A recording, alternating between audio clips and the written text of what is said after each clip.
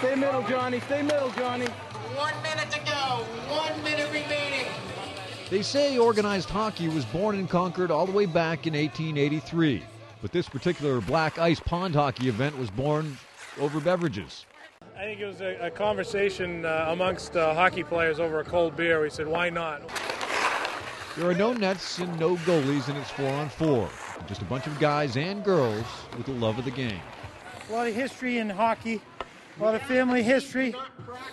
A lot of my uh, brothers played, and uh, down from my grandfathers and everything.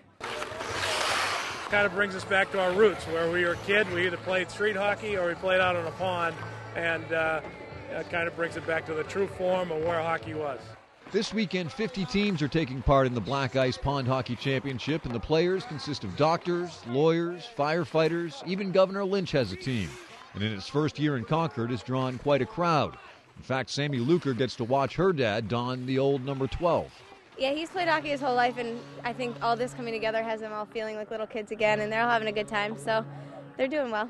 Organizers hope the event will only take off from here in Concord, but judging from the enthusiasm and sportsmanship from all those taking part, staying power shouldn't be a problem.